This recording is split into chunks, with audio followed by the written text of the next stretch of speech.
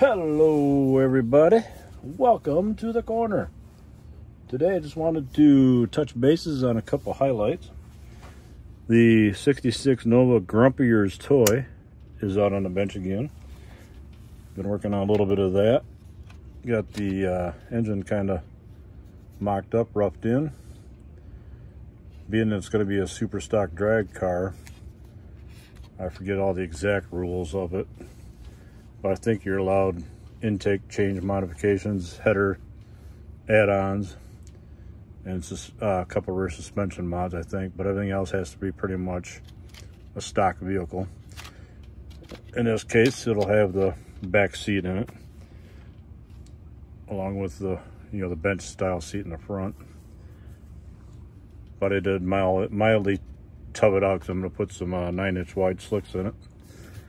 But that's that one. And I know most of you have been following along. This is the one I did the uh, firewall set back on. And, well, it's done. I finished it up the other day. Haven't done a update video on it yet, so I figured I'd add it in today's video quick. Um, this didn't go quite as easily as I had hoped it was, or would. Um, when I was putting it together, of course, ran into the firewall issues, had to set the, the firewall back, get the engine to fit in it. Then I ran into chassis fitment issues, had to modify the interior a little bit to fit the back window. Had to cut the base of the windshield off to get the interior dash and everything to fit up underneath it, being that I set the firewall back, it interfered with the bottom of the windshield. And then final assembly was putting the chassis in it and uh, the skirts that hang down off of the 66 Nova chassis. These things here. These were hanging out underneath the body like so. And I didn't really feel like bugging with the chassis to get the, you know, the interior and everything to get it to fit up in there more. So I just lopped off the bottom of those skirts and then touched them up with a black Sharpie marker. Just to finish it off. Wheelie bars on it. And there it is the official UFO search vehicle. Going to be, if you're ever down around New Mexico, you might see this thing run around down around Roswell, searching for UFOs. It's even got the, uh, I use the kit decals, the Roswell, New Mexico. I don't know if I, I can't not really focusing in on it. Let's see if we can't. Yeah, a little better. I was going to black wash the grill out, but I was in a hurry to get this thing finished up. I wanted to get it done, move on to something else. Got some other stuff I want to get working on here. Ooh, the engine.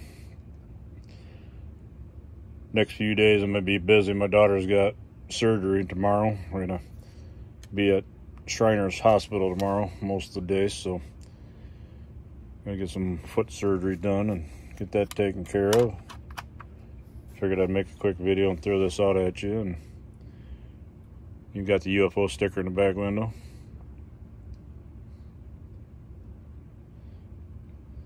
But it turned out pretty good for what it is. Trying to kit bash a 66 Pro Street chassis underneath a 63. They're pretty close to one another, but there are a few differences just in you know the years of manufacture of the kits and such. 63 was based off of the old promo style 63 Nova when it was brought out in 63. The 66 Nova, this body uh, kit, I think came out in mid 70s or something like that. I forget when that one came out. So you have the techno technology differences between the mold manufacturers and such, how they're made and such. So, but they're pretty close to one another as far as pan, chassis pan and such. Would turn out pretty good. But now, I had a couple fellows ask me about something that's been sitting on my bench for a while. And I'm going to dust off the cobwebs here and pull it forward and do a little talking on it while we got y'all here and need to talk about that a little bit too, I guess. So we'll be right back with something that's sitting back there.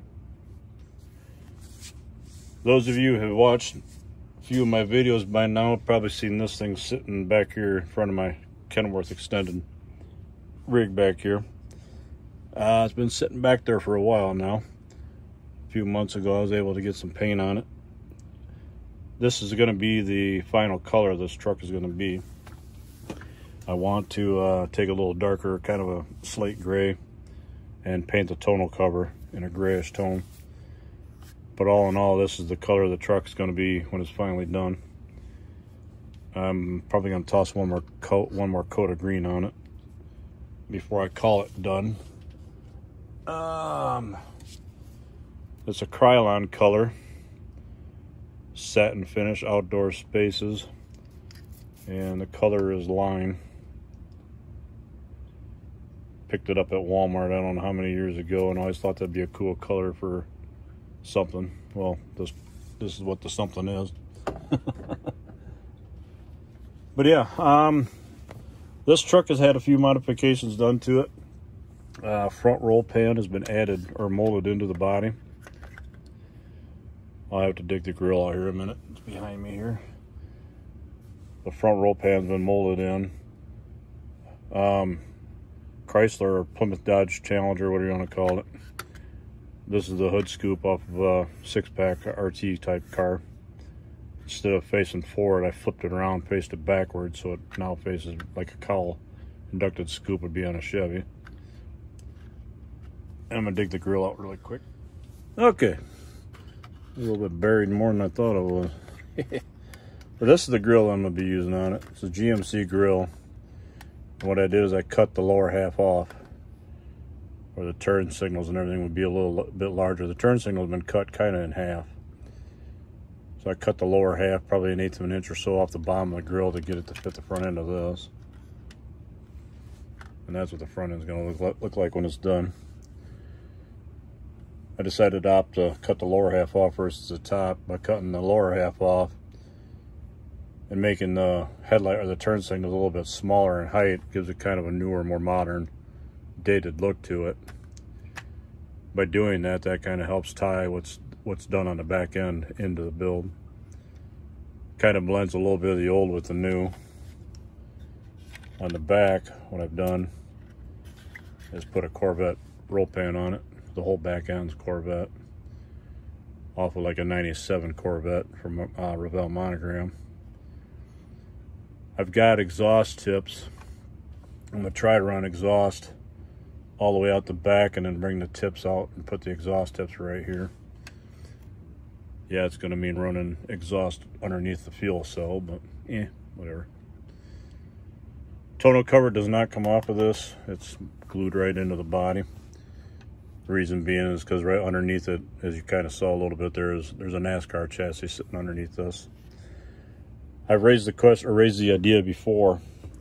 If anybody wants to really get a a build lower, I mean low to the ground. NASCAR chassis allow you to, oops, just to give you an idea, that's what it looks like at a, you know, like a ground stance, the ground level. Um, NASCAR chassis, I raised the core, brought the idea up before about if you got a street vehicle and you want the thing like low to the ground. A good friend of mine, John, uh, from Custom Kempson Miniature turned me on to this idea about using NASCAR chassis underneath the streetcar builds and such. He did it to a 78 Ford pickup truck and a couple other trucks besides. But with NASCAR chassis, what they do is that with the higher higher wheel arches, such as these, being that those wheel arches are so high above the tire, you can get a car on the ground and still fit a tire within here without modifying the wheel arches. And the front suspension, you can just modify the spindles or adjust your upper and lower A arms to get the, you know, get a squatted down look of an air, uh, like an air ride suspension would be to get the lowered, lowered look to the front suspension. So that's what's underneath this truck here. And that's the chassis view of it. Um, this I did modify the front suspension a little bit. I did push it up just a hair to get the front end to squat a little bit more. Back end, everything else is pretty much right out of the kit. All I did on the front spindle is I cut the spindle off the the back or whatever if you will, and I just moved the wheel mount up up more. That's what it looks like with the chassis underneath it, from the ground underneath side of it. Added a couple fuel filters to the back.